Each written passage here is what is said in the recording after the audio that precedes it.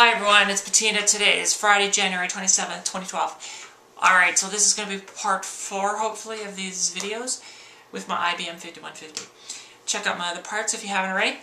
Alright, so today what we're going to do is we're going to show you the printer and how that works. So let me get up a little bit closer and I'll show you the printer first of all and tell you how that works. So the IBM 5150 had a printer and I can't remember the model number, but it's certainly um, 51 something, 51 52, 53, 54, 55, I have no idea.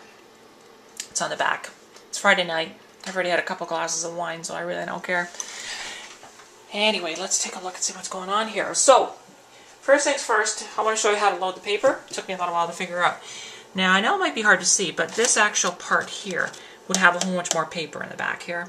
Be spooled up or falling behind the desk. However, the last piece kind of ripped off, so I've just got this part on. So what you have to do is you have to get it underneath this roller here. There's a plastic roller here, and it's going to go underneath this uh, this this carriage or this paper separator from the top. And you're going to feed it all the way in. And let me flip this up here. And what you would do is you would throw that back, and then you would slide it underneath. It would call. It would actually slide uh, easily if you if you if you pushed it in.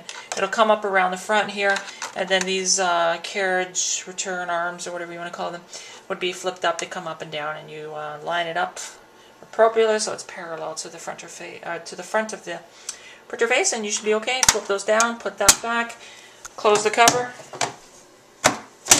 and away you go. Uh, the buttons we have here is power, ready, no paper, which is good. That's off.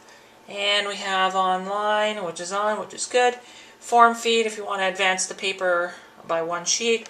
And line feed, which will advance it one at a time, which isn't working. I don't know why that's not working, because it was last time. Anyway, uh, let's print something out. So what I'm going to do is I'll show you how to print. There is a print screen button. I'm just going to show, I'm going to print out what's on the screen right now. So I'm just going to do a print screen. And that button is right uh, there. Is that it? That's it there. So we just have to hit the uh, shift up, which I can't do really right now. My hand in here. Well, and look at that. It's printing. I already printed this out the first time, so it's just printing it out again. There it is. You can see it right out there. So there you go. That's the IBM Color Graphics. Oh, sorry, take that back. Not Color. It's a graphics printer. Dot Matrix, of course. It's a classic, and uh, I love it. As you can see, my whole setup here is all IBM. IBM, IBM, IBM, IBM. 5150.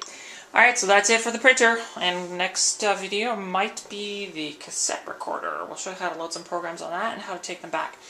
Alright, that's it for now. See you later.